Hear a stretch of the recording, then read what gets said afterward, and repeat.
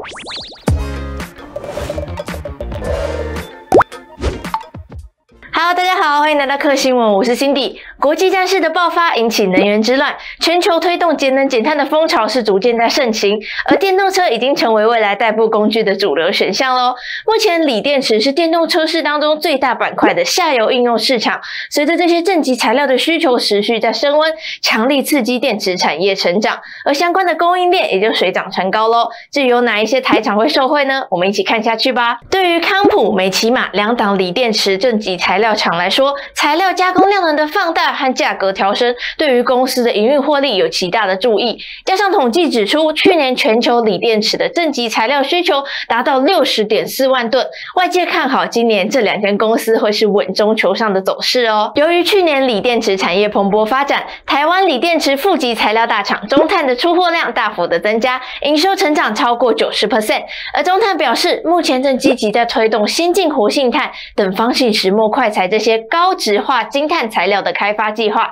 未来有机会在绿能产业链中占下一席之地哦。最后提醒投资人，理财需谨慎评估，祝大家操作顺利。以上的资讯取自于一一三二期的理财周刊，有兴趣都可以到各大书店上的通路找得到哦。那科新闻，我们下次再见，拜拜。